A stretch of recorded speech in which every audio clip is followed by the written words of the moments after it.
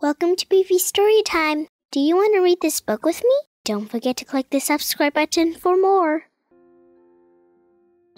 What Do You Do with a Chance? Written by Kobi Yamada. Illustrated by Mae Besom. One day, I got a chance. It just seemed to show up. It acted like it knew me, as if it wanted something. I didn't know why it was here. What do you do with a chance? I wondered. It fluttered around me. It brushed up against me. It circled me as if it wanted me to grab it. I started to reach for it, but I was unsure and pulled back. And so it flew away. I thought about it a lot. I wished I had taken my chance. I realized I had wanted it, but I still didn't know if I had the courage.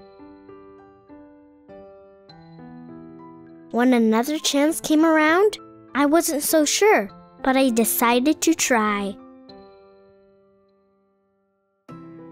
I went to reach for it, but I missed and fell. I was embarrassed. I felt foolish.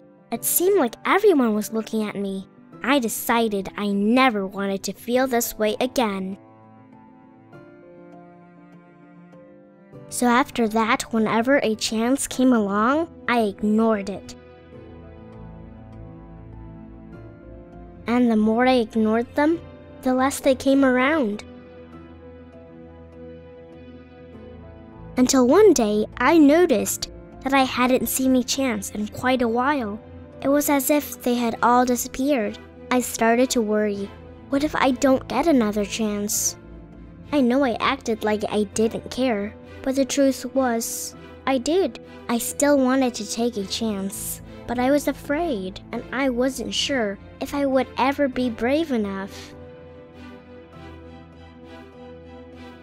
Then I thought, maybe I don't have to be brave all the time. Maybe I just need to be brave for a little while, at the right time. I realized it was up to me. I promised myself that if I ever got another chance, I wasn't going to hold back. If I got another chance, I was going to be ready. Then one seemingly ordinary day, I saw something shining far off in the distance. Is it possible? I hoped. Could this be my chance? I had to find out. I ran as hard and as fast as I could toward it. I don't know how to explain it, but the second I let go of my fears, I was full of excitement. It wasn't that I was no longer afraid, but now my excitement was bigger than my fear. As I got closer, I could see that this was a really huge chance. But this time I was ready. As it came by, I reached out and grabbed it. I held on with all my might. It felt so good to soar, to fly, to be free. I now see that when I hold back, I miss out. And I don't want to miss out. There's just so much I want to see and do and discover. So, what do you do with a chance? You take it, because it just might be the start of something incredible.